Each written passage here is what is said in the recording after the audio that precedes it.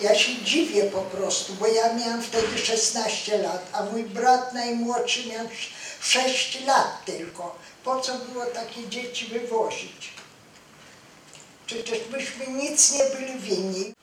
I ojciec prosi, zostawcie moje dzieci. Mówi, żona przyjedzie, to się zajmie nimi. A ten ruski powiedział, że mówi, drzewo się korczuje z korzeniami, bo inaczej to będą odrastać. I dlatego zabrali i mnie, i ojca, i wywieźli nas wszystkich na Sybir. Ja dzisiaj nie mogę wierzyć, że człowiek może tyle przeżyć, ale to, to trzeba mieć silną wiarę w Boga i wszystko polecić Bogu. I Pan Bóg wszystkim się zajmie. Resztę już czyni Pan Bóg tylko. Dworzec zima 40 roku. Wszystko płonie, ktoś przeraźliwie krzyczy. Jacyś ludzie o twarzach upiorów chwytają moje rodzeństwo i wrzucają do bydlęcych wagonów. Z głośników słychać przeraźliwe słowa. Stacja Sibir.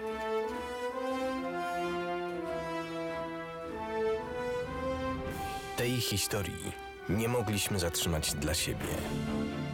Zostań powiernikiem opowieści o cierpieniu, strachu, nadziei i miłości, która narodziła się w piekle zesłania. Obiecuję, że odnajdę cię choćby na końcu świata. Wrócę po ciebie i zabiorę do ojczyzny. Obietnica. Historia, która wciąż budzi emocje. Ocala ją wydawnictwo Edycja Świętego Pawła. A ja jeszcze w międzyczasie, już jak powiedzieli, że już nie wy, stamtąd nie wyjedziemy nigdy, że już tam musimy umierać wszyscy, no była młoda dziewczyna i wyszłam za mąż. Ormianie. Nie, to nie był tylko Ormianie mówił. Też, Ja- też zesłany. Też zesłanym, tak samo jak i my, tylko że on wcześniej był zesłany też do Kazachstanu. To była rozpacz. Rozpacz, proszę sobie wyobrazić, że ja nie wiedziałam, czy odjechać, jego zostawić, czy wszystkie dzieci odjadą, a ja tam sama zostanę i nigdy mamy swojej nie będę widzieć. To była rozpacz, jak ja musiałam odjechać, ale odjechałam, bo myślę sobie, może powiada, że on przyjedzie kiedyś do mnie. A ja to do niego wiedziałam, że nie przyjadę. Odjeżdżając stamtąd, to poszłam na grób ojca i mówię, tato, ja przyjadę po ciebie, ja cię stąd zabiorę. Ale niestety nie mogłam, ale dzięki Bogu Najwyższemu mój wnuk Arek w zeszłym roku pojechał, był nie to, że stanął na tym grobie, ale przynajmniej w tym takim miejscu, gdzie tam był ten, były groby, pomodlił się, odprawił mszę świętą. I, I dałem fotografię z listem, który jest do babci. I moi, to jest taki paradoks, że moja mama zobaczyła swojego ojca że to syn pokazał ojca matce. Jest takie... Nie wiem, jak ktoś pisał scenariusz filmowy, to może bym nie wymyślił.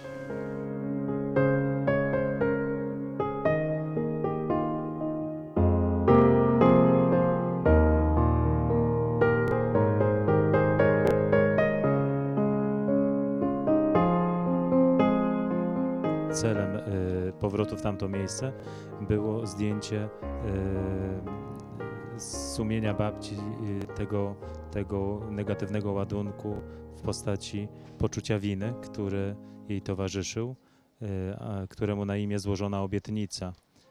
Wrócę po ciebie, tato, i zabiorę cię do ojczyzny. Nie mogła tego uczynić, tak jak y, ksiądz to powiedział, dlatego że były czasy komunistyczne, później nie było możliwości, a teraz, kiedy jest sędziwa, nie może tego uczynić, więc stałem się powiernikiem i jakby odpowiedzialny za to, żeby tę obietnicę wypełnić. I to jest jakby główny cel. Chciałabym bardzo, żeby młodzież przeczytała tą książkę i żeby się trzymała, żeby nie narzekać, nie biedować, ale żyć żyć z Bogiem, co najważniejsze, na co dzień żyć z Bogiem. To jest wszystko w Boga, w ręku Boga. Bóg wszystko pomoże, żeby tylko było dobrze. Nie trzeba narzekać. Trzeba się siłą pchać, że tak powiem, do przodu, żeby było wszystko w porządku.